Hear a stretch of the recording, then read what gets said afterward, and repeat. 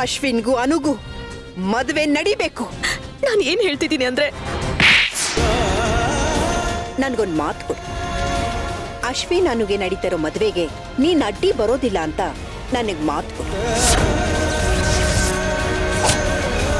ಸೇವಂತಿ ಇಂದು ರಾತ್ರಿ ಏಳು ಮೂವತ್ತಕ್ಕೆ ನಿಮ್ಮ ಉದಯ ಟಿವಿಯಲ್ಲಿ.